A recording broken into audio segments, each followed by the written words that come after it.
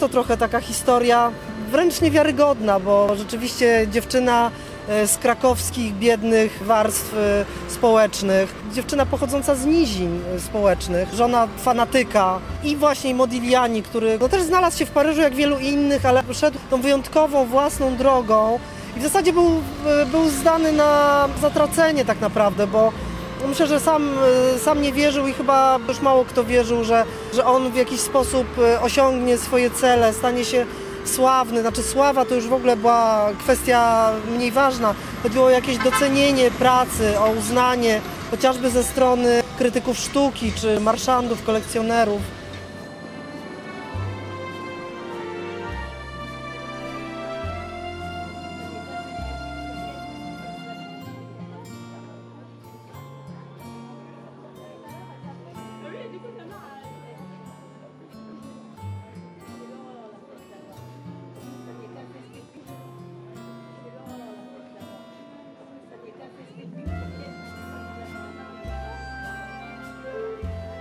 Znajdujemy się teraz na wzgórzu Montmartre. Za mną widać e, bazylikę Sacré-Cœur. E, Tutaj na Montmartre rozwijała się sztuka nowoczesna właśnie na początku XX wieku i tutaj e, zamieszkał Modigliani po przybyciu do Paryża w 1906 roku.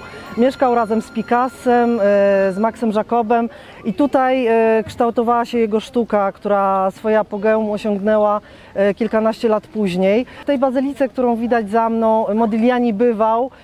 Często też pod wpływem różnych dziwnych substancji modlił się z Maxem Jacobem. Amedeo kaszle, ale i tak wykazuje lepszą formę niż ja. Chwilami musimy przystawać i poczekać, aż atak minie. Modi szydzi z przypominającej egzotyczne świątynie Białej Bazyliki, z jej kopuły w kształcie odwróconego dzwonka. Mnie się ta budowla zawsze podobała. Stajemy na tarasie przed wejściem do bazyliki, skąd rozciąga się spektakularny widok na miasto w dole. Wspomnienia napierają, a Medeo chaotycznie przywołuje migawki z dawnego życia. Zanurzony w swojej przeszłości opowiada o tym, kiedy jako pełen wiary w siebie 22-latek latem 1906 roku zamieszkał tu, na wzgórzu. Montmartre faktycznie był wtedy tylko wioską. Karłowate domki, ogródki warzywne i owocowe drzewa obsypane kwiatami każdej wiosny. Płoty z desek, drewniane wiatraki, które tak wielu malarzy z upodobaniem uwieczniało na swoich obrazach. To tutaj, na wzgórzu Montmartre, narodziła się sztuka nowoczesna. Tutaj tworzył Toulouse-Lautrec, tutaj spędził dwa lata Vincent van Gogh. Wreszcie tutaj narodził się kubizm. Picasso zaczynał właśnie na wzgórzu Montmartre, mówi pogrążony w swoich myślach.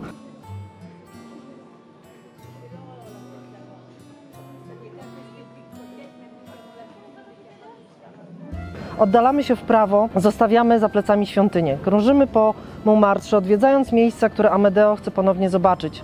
Jak przysadzisty, otoczony koślawym płotkiem i ogródkiem wiejski domek, gdzie mieściła się knajpa i kabaret La Pain à Gilles, a właściciel, ojciec Frede, prezentował numery ze swoim osłem Lolo.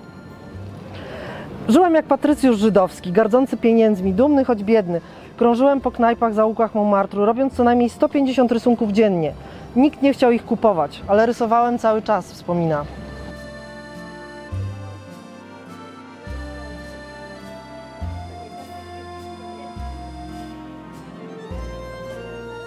Jesteśmy nadal na wzgórzu Montmartre. Za mną widać kabaret, to La Pain à Gilles. I to było takie niezwykłe miejsce w pierwszych latach XX wieku, gdzie właśnie bohema artystyczna zbierała się, żeby spędzić miło wieczory przy winie, tudzież innych używkach.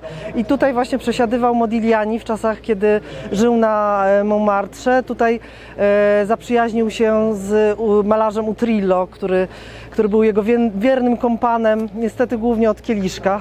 E, ale jak widzimy, to miejsce jest tak malownicze i, i e, pewien urok pozostał do dzisiaj, że warto sobie wyobrazić tą bohemę artystyczną tych ludzi w tamtych czasach, kiedy Montmartre był wioską e, otoczoną winnicami. Tutaj za nami widać jedyną paryską wciąż rodzącą winogrona winnicę. Dzisiaj mamy święto wina, stąd ten tłum niesamowity na Montmartre.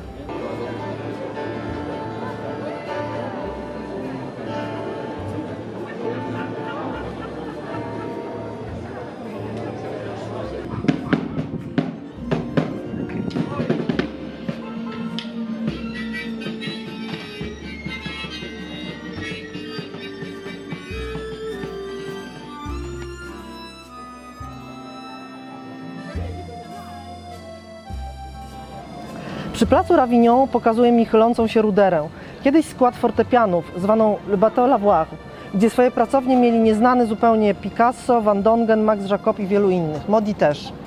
Widziałem panny z Avignonu 5 lat przed tym, jak Picasso pokazał je publicznie. To był szok, wyznaje Medeo. Ale życie obok hiszpańskiej bandy i nieuleganie Picassowi wymagało ode mnie wiele samozaparcia.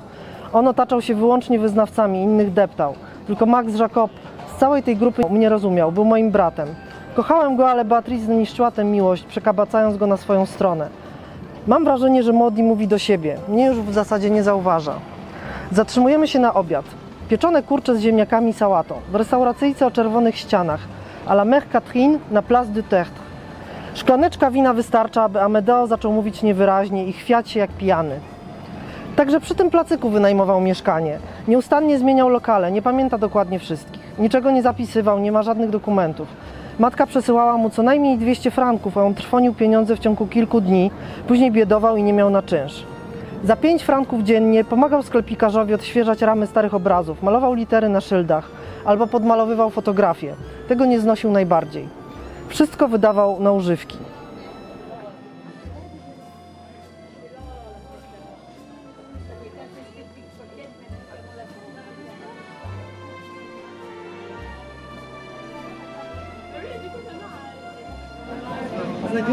Sercu Montmartru, na Place du Tertre. E, tutaj na tym placyku mieszkał Modigliani. E, tu znajdował się hotel, w którym nie był w stanie płacić czynszu i musiał uciekać przez okno, zostawiając swoje obrazy, a właściciele wyrzucali je do śmieci, bo nie, nie widzieli w tym żadnej wartości. Tutaj za mną widać restaurację La Mère Catherine, e, która znajduje się w tej książce. Jest, jest tutaj opisana. Tutaj Lunia i Modigliani jedzą dosyć pamiętny obiad. Podobnie wyglądało 100 lat temu. Potrawy też są te same.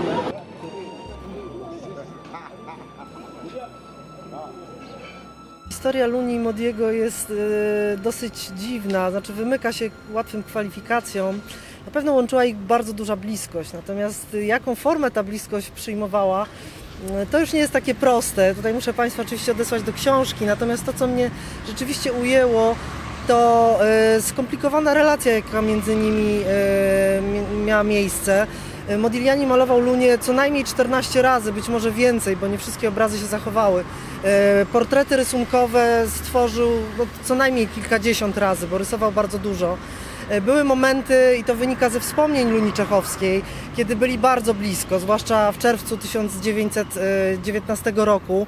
Ta bliskość była naprawdę bardzo intensywna i, i e, też wynika to właśnie z, z tego, co pisała Lunia, że w pewnym momencie Modigliani e, był bardzo o nią zazdrosny, nawet do tego stopnia, że ona nie mogła się związać z żadnym innym mężczyzną, ponieważ on, nie, on na to nie pozwalał de facto, mimo że sam był związany z Jeanne Buterne, z matką swojego dziecka, zresztą która była w ciąży z drugim dzieckiem. E, Było między nimi na pewno coś szczególnego, to nie była tylko fascynacja jakaś fizyczna, bo Modigliani bardzo się podobał kobietom, praktycznie wszystkim. Miał rzeczywiście jakiś taki wyjątkowy urok i, i coś sobie takiego, co bardzo działało na kobiety. Lunia była młodą, też e, urokliwą osobą, więc jego fascynację też łatwo zrozumieć, natomiast na pewno było coś więcej. To było jakieś porozumienie wykraczające poza, poza taką, takie zwykłe, mm, zwykłe zauroczenie.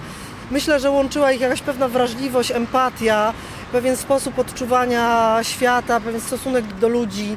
E, I, I to musiało być e, naprawdę wyjątkowe i to chciałam opisać i uchwycić tą wyjątkowość e, w książce. Na Modiglianiego mówiono Modi i to nie jest tylko skrót od jego nazwiska, to jest także francuskie słowo Modi, które oznacza przeklętego. Mam wrażenie, że y, Modigliani, przynajmniej pod koniec życia, wcale nie był taki przeklęty. Miał wielkie, wielkie szczęście do Polaków, chociażby do Zborowskiego, do Zbo, y, który wydaje mi się postacią altruistyczną, postacią kogoś, kto y, nie tylko płacił Modiglianiemu cotygodniową pensję, mimo że nie mógł sprzedać jego obrazów, to tak naprawdę dbał o niego no, jak przyjaciel. Tak, to na pewno też była przyjaźń i rzeczywiście Zborowski był, był wyjątkową osobą, taki poeta, wariat trochę, no, ale rzeczywiście uwierzył w Modiglianiego jak nikt. Poprzedni marszant e, Amedeo był Paul Guillaume, taka znana postać na rynku sztuki, młody, przebojowy e, mężczyzna i nie potrafił Modiglianiego sprzedać. Też, też mu te obrazy nie, nie szły, mówiąc kolokwialnie. Natomiast Zborowski robił naprawdę wszystko. Tą przysłowiową ostatnią koszulę oddawał, zastawiał swój jedyny garnitur.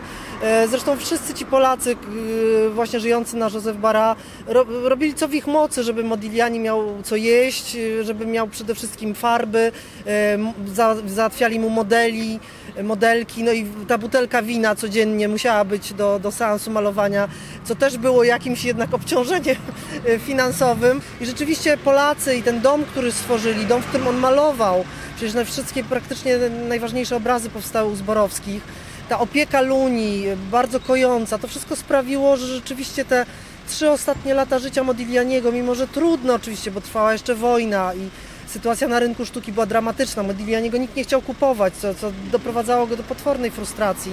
No jednak e, została stworzona taka atmosfera, w której on mógł rozkwitnąć jako malarz i zresztą te obrazy, na które patrzymy i które podziwiamy, no powstały, powstały właśnie w tej atmosferze, więc na pewno ten udział Polaków był duży. Natomiast sama Lunia myślę, że była tym jego jakimś ukojeniem i, i była jakąś taką, mm, takim aniołem stróżem, który, który troszeczkę mu pomagał właśnie okiełznać e, te, te dosyć trudne aspekty jego osobowości, bo, bo miał też w sobie mm, e, taki mrok, e, miał w sobie jakąś tajemnicę, którą tak naprawdę trudno odgadnąć, ponieważ był skomplikowaną osobą.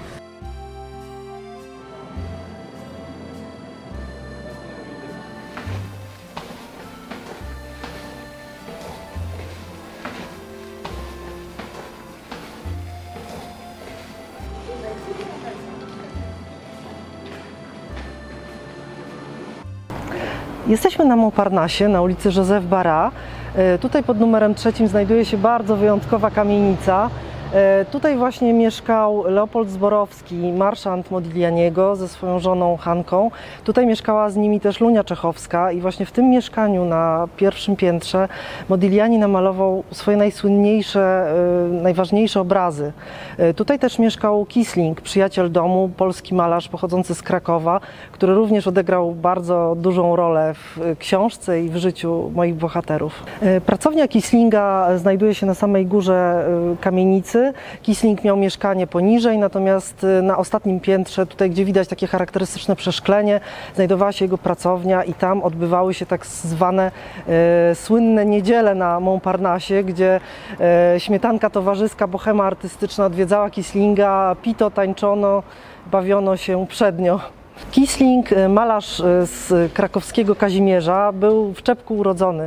Jemu się naprawdę powiodło i bardzo szybko zyskał renomę i nie miał problemu z zamówieniami. E, Pomagał finansowo Modiglianiemu, który nie mógł sprzedać swojego obrazu nawet za 50 franków. No, suma niebywała, tym bardziej, że dzisiaj jego obrazy są warte ponad 100 milionów dolarów.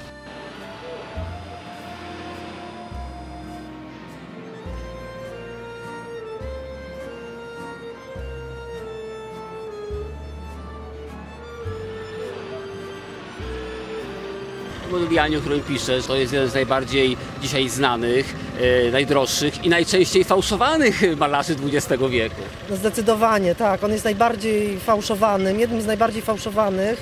E, W Stanach Zjednoczonych, zwłaszcza u tych potentatów e, paliwowych z Teksasu, wisi bardzo dużo fałszywych Modiglianich.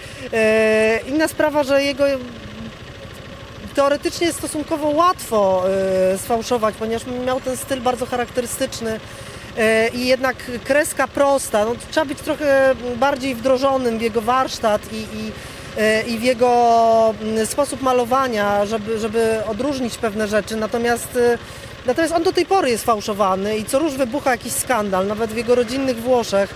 Parę lat temu e, w Genui odbyła się wystawa właśnie poświęcona Modiglianiemu i policja zamknęła tą wystawę. Wielki, wielki skandal miał miejsce. się okazało, że 30% obrazów to są fałszywe płótna.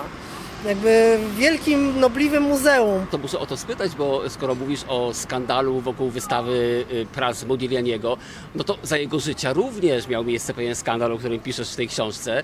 Y, Również zamknięto wystawę jego obrazów, ale to ze względów obyczajowych. Tak, to, to miało miejsce tak, yy, w 1918 roku w grudniu. I to była jedyna w ogóle wystawa indywidualna Modiglianiego za jego życia. To jest, to jest niesamowite. Była taka marszantka paryska, która, która no, zaryzykowała i też jakby postanowiła zorganizować wystawę komuś nieznanemu. E, Natomiast no, nieszczęście polegało na tym, że w witrynie tej e, galerii, w której odbywała się wystawa, zawieszono jeden z aktów Modiglianiego. On wtedy rzeczywiście bardzo intensywnie malował nagie kobiety, zresztą to, to się wszystko odbywało w salonie właśnie Zborowskich. E, Jego, jego akty kobiece są absolutnie wyjątkowe, ponieważ bazują, no, widać jakby inspirację renesansem, e, z którego on bardzo dużo czerpał, ale te jego kobiety przedstawione przez niego E, To była troszeczkę taka jego cegiełka na rzecz feminizmu. Ja wiem, że może to, co mówię, wydaje się dziwne, ale naprawdę on jako jeden z pierwszych, nie wiem czy nie pierwszy, pokazał kobiety właśnie zadowolone z seksu. I to, to był wielki przełom, bo zwykle pokazywano tą kobiecość e, no, w taki sposób, patrzono na, na nią na nie oczami mężczyzny, który który pożąda, który, który w jakiś tam sposób podziwia kobiece ciało. Natomiast modelki Modiglianiego, one, one są zadowolone z, e, jakby ze swojego życia erotycznego i to widać na tych obrazach. No niestety Modigliani też był bardzo zadowolony ze swoich modelek i pokazywał je takie, jakie, jakimi są i pokazywał też włosy łonowe. No i te włosy łonowe wzbudziły tak straszliwy skandal, że wystawa została zamknięta tego samego dnia, znaczy w momencie wernisażu. E, Niestety policja została wezwana przez, przez gapiów, którzy widzieli ten jeden z aktów wystawiony w, w galerii, no i to, to było nie do zniesienia. No jakby, jak można pokazać coś tak obscenicznego? Jakby nie miało to znaczenia, że, że, że przecież to jest obraz realistyczny i, i no nie, no i Mo- Modigliani niestety mm, e, niestety tą jedną, jedyną wystawę stracił. Już później za życia nie udało mu się pokazać e, podobnych obrazów e, w jednym miejscu.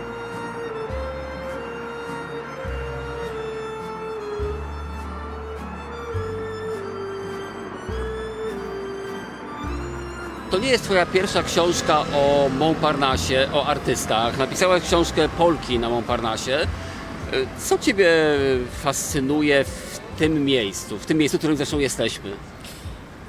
Przed wojną to było naprawdę szczególne miejsce, y, zwłaszcza w latach dwudziestych, ale, ale to była taka dzielnica, która skupiała, nie powiem, że wyrzutków, ale osoby o takim dosyć skomplikowanym statusie, nie tylko społecznym, ale przede wszystkim takim mm, e, ojczyźnianym, ponieważ tutaj na Montparnasse osiedlali się artyści praktycznie z całej Europy, ale artyści e, będący w specyficznym położeniu, ci, którzy szukali wolności, Tacy jak właśnie Polacy, no wtedy Polski nie było, mówimy Polacy, ale to byli ludzie, którzy mieszkali na terenach zaborów.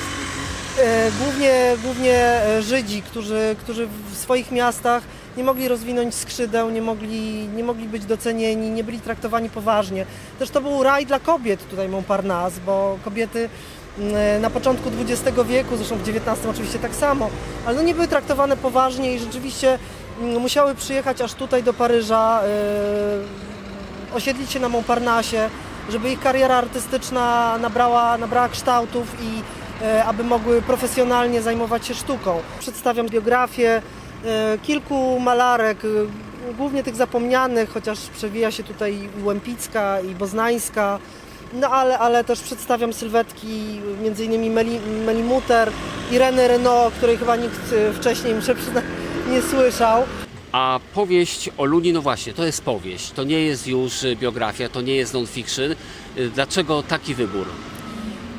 Starałam się być jak najbardziej wierna źródłom, natomiast y, prawda jest taka, że źródeł y, dotyczących życia czy Zborowskiego, czy Luni Czechowskiej jest bardzo mało. I jeśli chodzi o tą relację, która mnie tak właśnie zafascynowała, relację między Lunią a Modigliani, mam w zasadzie jeden, jedyny przekaz y, w postaci wspomnień Luni, które są, które są objętościowo bardzo skromne, więc ona, ona bardzo subtelnie rysuje tą relację.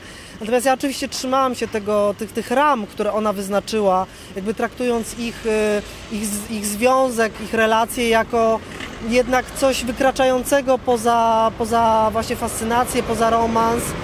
E, Natomiast y, ponieważ mamy tak mało źródeł i tak wiele jest nie, nie, niewiadomego, bardzo mnie kusiło wypełnienie tych szczelin.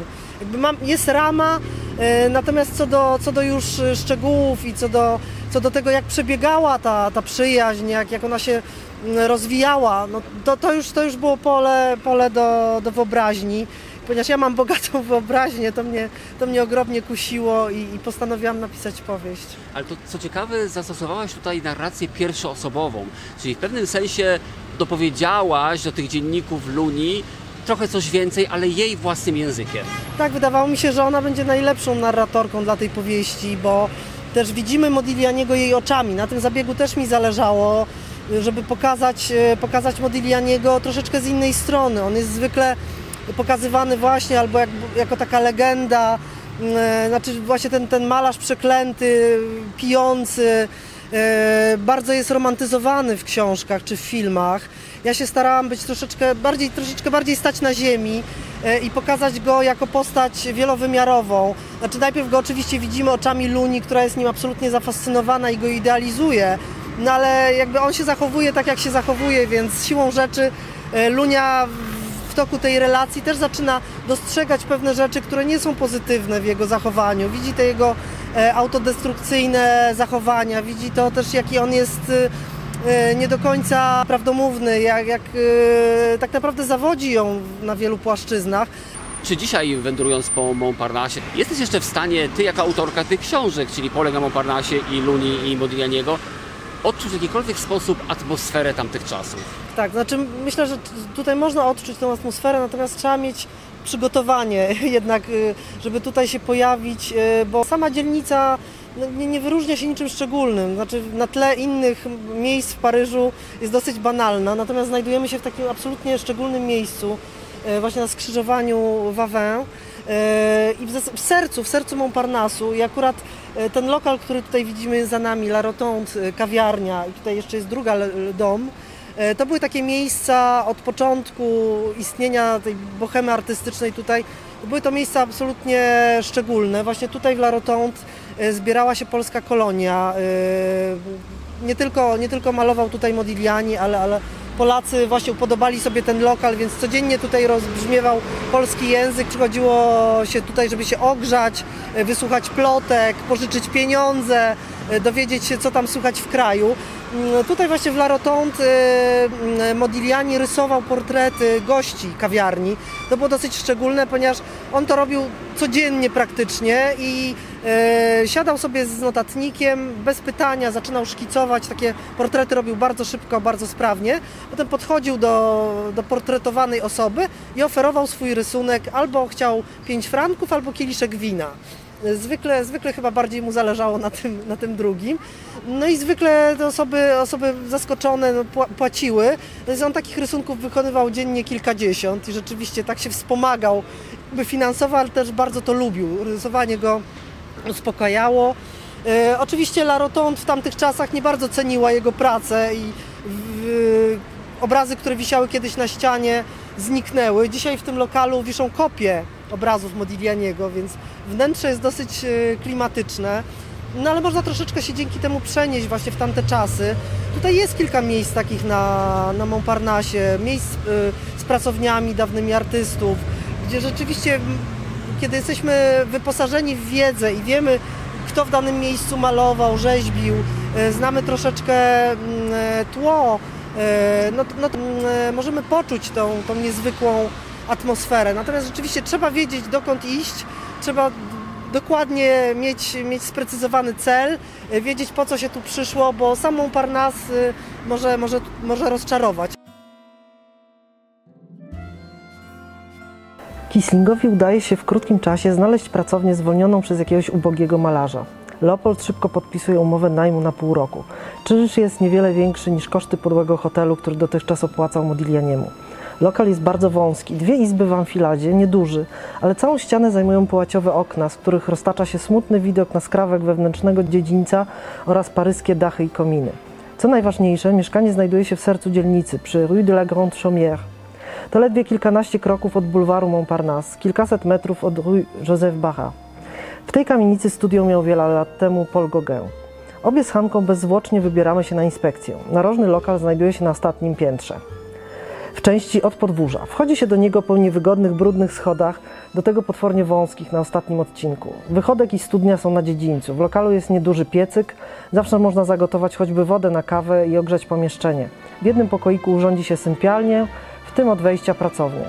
Podłogę trzeba będzie porządnie wyczyścić, a brudne ściany muszą zostać odświeżone. Postanawiamy, że same się tym zajmiemy.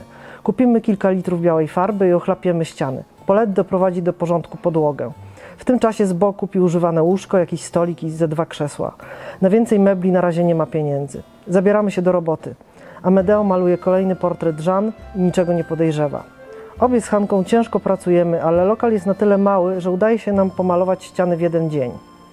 Pobielamy przy okazji szyby okien. Światło, które przez nie wpada, jest zbyt ostre. Tragarze, klnąc na wąskie schody, wnoszą metalową ramę łóżka, materac, podniszczony stolik, krzesła i półkę na książki. Ustawiamy na niej paryski splin Bodlera. Wreszcie kolejnego dnia Zbo przyprowadza tu Modiego, nie wyjaśniając mu rzecz jasna, że ma to być jego nowe lokum. Chcemy, żeby to była niespodzianka. Nie jesteśmy pewne jego reakcji, może będzie wybrzydzał, że za mało miejsca, a schody wąskie. Kiedy Amedeo wchodzi do środka, patrzy na Hankę i na mnie zdziwiony naszą obecnością. Czuje zapach świeżej farby położonej na ścianach, ale nie rozumie, po co został tu zwabiony. Leopold, nie mogąc wytrzymać, wyciąga w jego stronę dłoń z kluczem i mówi: To twoje nowe mieszkanie. Możecie tu mieszkać oboje z Żan. Modi stoi nadal osłupiały. Nagle rozpromienia się tak nieoczekiwanie i tak spontanicznie, że bezwiednie zaczynamy się wszyscy śmiać.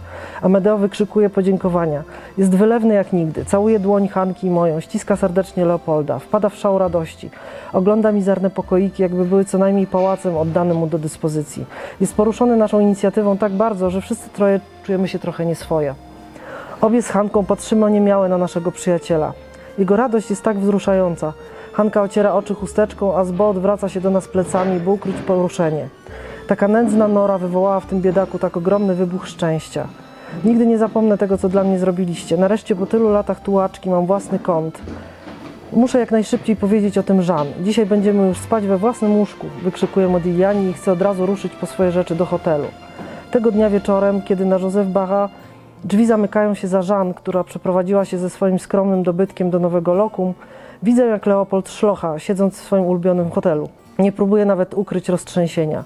Jak to możliwe, aby ktoś taki jak Modi musiał żyć w tak nędznych warunkach? Dlaczego mu się nic nie udaje? Dlaczego nie potrafię więcej dla niego zrobić?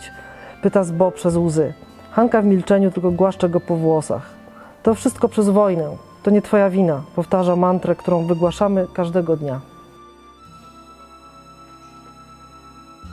Znajdujemy się e, na ulicy de la Grande Chaumière e, na Montparnasse w Paryżu.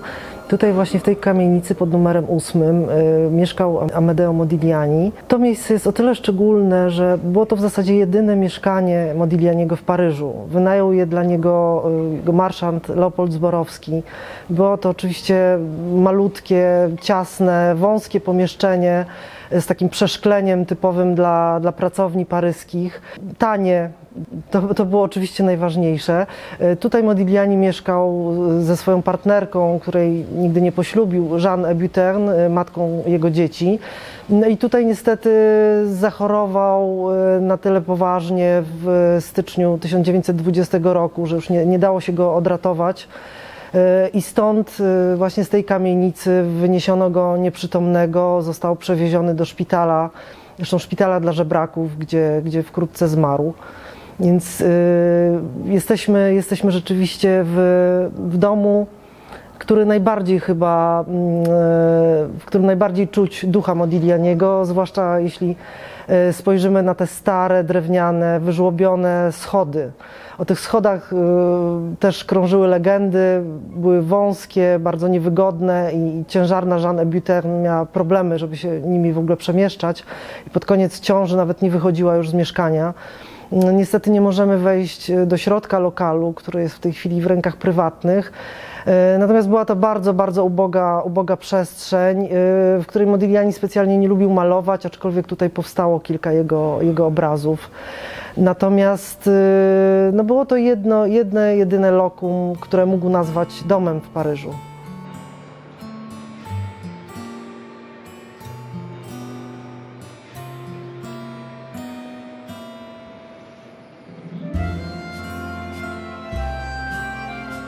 Namalował w ciągu ostatnich swoich trzech lat życia, e, to, to po prostu zbudowało jego karierę, jego legendę. E, Dzisiaj jego obrazy to są warte absolutnie, to jest majątek po prostu.